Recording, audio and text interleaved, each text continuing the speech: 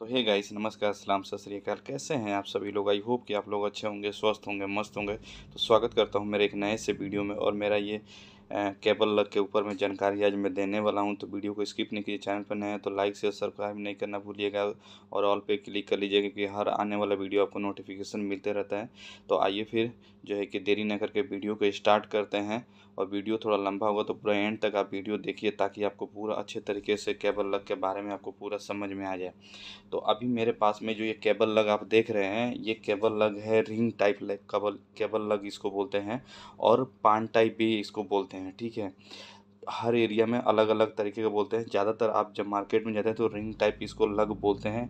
Long barrel short barrel जिस तरीके से आपको चाहिए, उस तरीके से आपको मार्केट में मिलता है। ये सब जो लग है इंसुलेटेड लग है, ठीक है? ये इंसुलेटेड टाइप के लग हैं। ये मेरे पास में हीट सिंक है। किस तरीके से इस्तेमाल करते हैं, कुछ क्रिम्पिंग टूल्स है, मैं आपको इसके बारे में पूरा जानकारी देने वाला हूँ, पूरा अच्छी तरीके से। तो ये मेरे पास में जो है कि 630 का आप लग देख रहे हैं, ठीक है?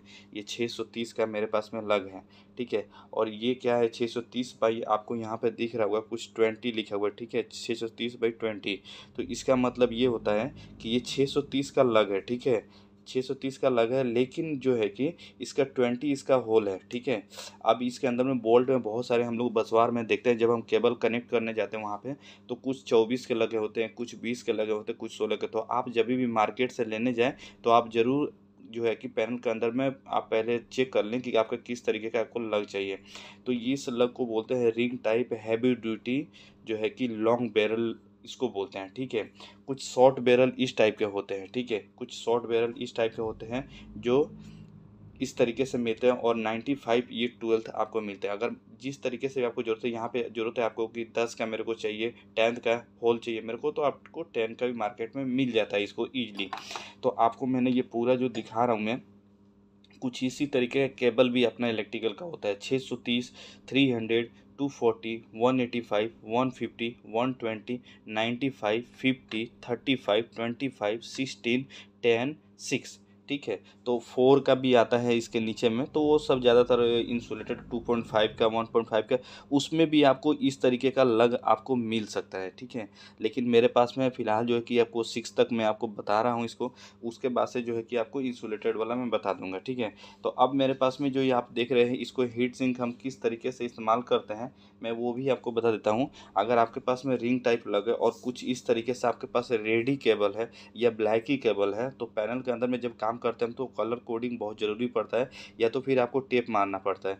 तो हम लोग पैनल में ज़्यादातर बहुत हैं कि आप आप टेप मारेंगे तो ज़्यादातर पासिंग नहीं होता है। तो इसलिए हम लोग क्या करते हैं, इस तरीके से कुछ हम लोग इसको कटिंग करते हैं। ये आप लग के ऊपर और कुछ कम से कम इधर में, आधा उधर, आधा इधर होना चाहिए। ये मेरे जो फेरुल का साइज़ है, ये करीब करीब जो हीट सिंक का जो है, ये मेरे पास में थर्टी फाइव का है। तो मैं आधा उधर, आधा रखता हूँ और आपके पास में जो है कि हॉट गन इसके जो अगर इसको फिक्स करना है तो हॉट गन होना चाहिए। नहीं है तो आपके पास टेम्प्रोरी लाइटर से भी आप चाहिए तो इसको जो है कि आप थोड़ा सा इसको जो है कि आप फायर करेंगे और इसके बाद से ये फिक्स हो गया, ठीक है? ये अब यहाँ पे नहीं घूमने वाला है और ये कलर कोडिंग और अच्छा भी आपको दिखने लगा, ठीक है?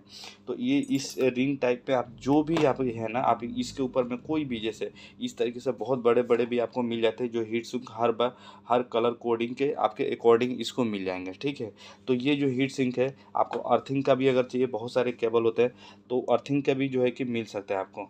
अभी देखिए, मेरे पास में अर्थिंग का भी है जो है ना कि मैं आपको इसमें स्टेट थ्रू जो है कि लग, जो कि फेरूल भी इसको बोलते हैं लग।